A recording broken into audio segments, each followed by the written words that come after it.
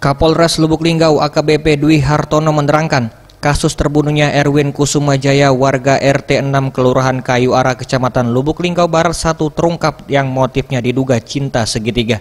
Kasus pembunuhan yang sempat menghebohkan warga kota Lubuk Linggau ini diketahui korban ditemukan tewas bersimbah darah dengan satu luka tusukan di dada di kawasan Jalan Jenderal Ahmad Yani Simpang Kenanga 1, Kelurahan Pasar Satelit Kecamatan Lubuk Linggau Utara 2 pada Rabu malam lalu.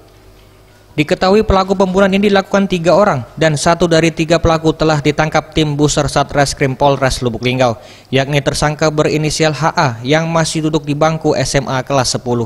Pelaku HA yang ditangkap berdasarkan pengakuannya berperan melakukan pemukulan terhadap korban, sedangkan tersangka yang melakukan penusukan terhadap korban dilakukan pelaku inisial K. hubungan apa-apa, cuma kebetulan yang tersangka kita amankan ini adalah teman dari saudara K. Sedangkan saudara K ini diduga, ini masih diduga ada hubungan dengan saudara I. Gitu loh. Jadi ini uh, baru diduga ini ini sakit hati karena cinta segitiga. Kenapa? Tega. Kamu tahu nggak? Itu mau dibunuh tahu nggak? Nggak tahu. Kenapa kamu tega begitu?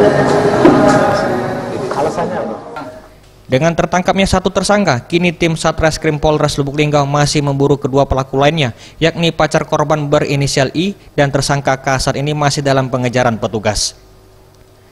Tim Liputan Sriwijaya TV